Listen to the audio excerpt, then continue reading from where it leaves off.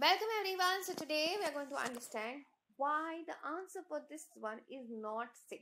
See understand according to BODMAS or PEMDAS in both cases first thing needs to be done is basically you need to sort out the brackets. So we have 8 divided by 3 that is 6 square divided by 6 into 6.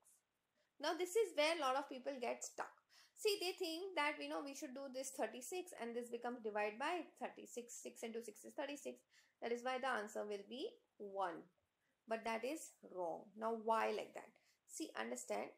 First very very important thing is we need to convert the indices first. So this becomes 36 divided by 6 into 6. Now in BODMAS and PEMDAS in both cases division and multiplication hold equal precedence. So you just go from left to right. So first we will do 36 divided by 6.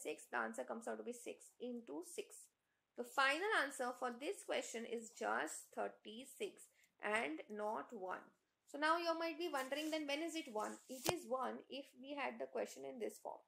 18 divided by 3 the whole square divided by then this was another bracket. Okay so this eventually comes out to be 6 square that is 36 divided by 6 into 6 is again 36 because we need to do the brackets first. Okay so answer in this case becomes 1 so this question would let you the answer as 1 but this question since there was a lot of ambiguity here the answer will be 36 that's it for today. I will see you in the next video